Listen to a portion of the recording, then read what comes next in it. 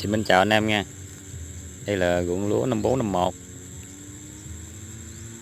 Hiện tại thì lúa được 40 ngày. Quay lên cho anh em xem để tham khảo nha. Anh em trong hội nông dân mình đó.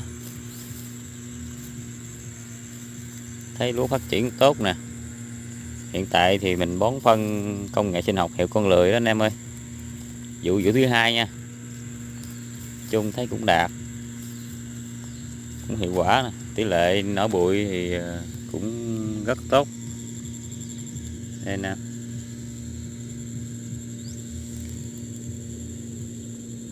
Để nhánh khỏe.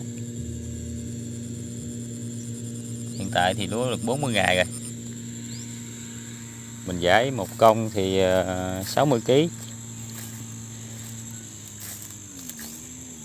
lần đầu thì ờ, mình giải 15 kg lần 2 thì mình giải 25 kg lần 3 thì cho 20 kg nha. Anh em tham khảo. Đây là ruộng ờ, đối chứng cái bên để em quay.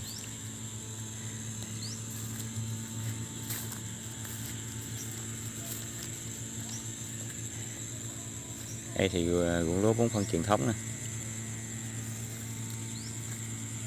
Đây nè.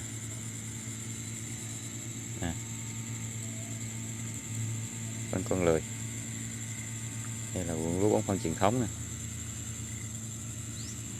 lúc đầu thì ờ, bón phân truyền thống thì nó phát hơn. Nhưng mà thời gian chừng khoảng 30 ngày trái gì sau thì ờ, không phát triển bằng phân con lười. Cho anh em tham khảo ha. Để ờ, có làm thì làm theo mình thì giảm được chi phí đầu tư ha chung ra cũng nhẹ phân nè. Rồi chào anh em nha.